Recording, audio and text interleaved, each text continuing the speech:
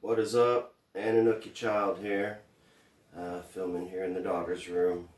Lighting's a little better and that wind is god awful.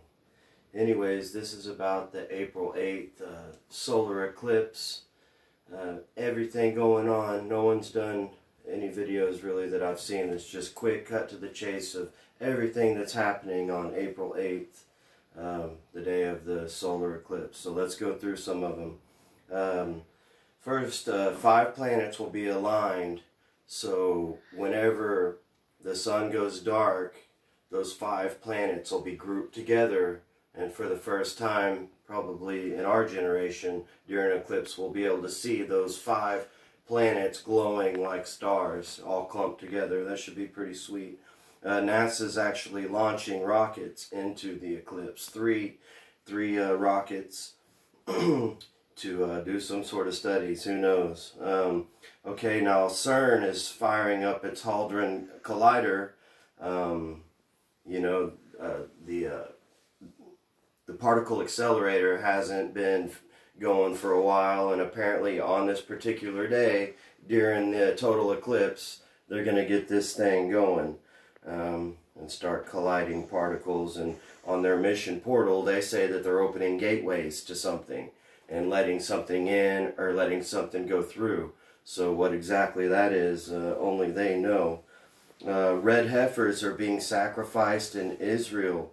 As far as I know, most sacrifice, animal sacrifice, um, ended after Jesus' sacrifice. So uh, Israel has granted these people to sacrifice these uh, red heifers, and that's like biblical. You know, it's uh, it's like all prophecy, a lot of these things.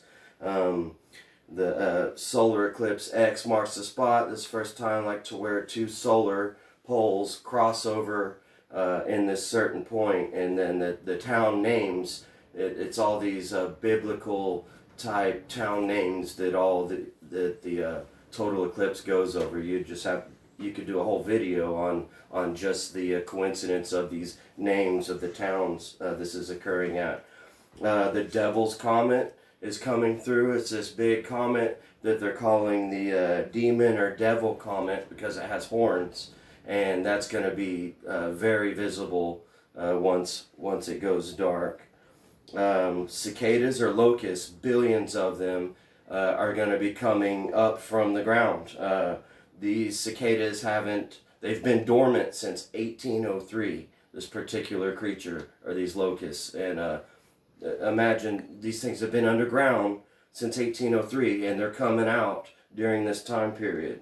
Um, I think it's kind of weird that they're telling kids, you know, parents to keep their kids out, out of school, uh, to stay home, to have groceries and gas. That's kind of weird. You know, it used to be, they were special days at school where uh, the whole class would go out and view these things. But um, yeah, now they're telling parents to keep their kids at home and to have extra food and gas. Uh, you know, revelation type signs here, pro prophetic signs, wars and rumors of wars. Uh, the sun and moon will go dark, earthquakes. All these things are, are happening. Um, so yeah, stay ready, stay uh, locked and loaded. It, if the eclipse lasts longer than four minutes, then I would start to be worried. Um, then it's time to freak out. Or if uh, or if it's a total eclipse everywhere, not just in that area that they're saying. But uh, anyway, that's a short video on uh, what's going down that day. Stay alert and keep your eyes to the skies and uh, be careful. Peace out.